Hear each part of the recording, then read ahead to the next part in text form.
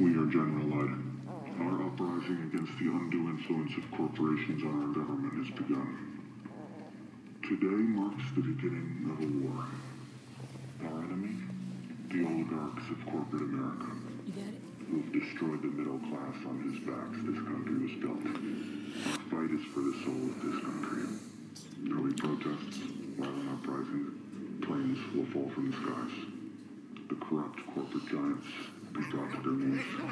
So, as it begins, ask yourself, are you General Ludd?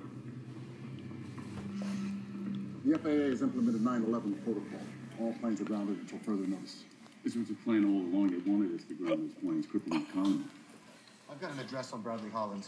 Let me guess, someone's done a guard. Yes, but I've also traced a credit card payment in Holland's name to a storage facility. Brooklyn, St. Mark's Ave. Let's roll. Oh,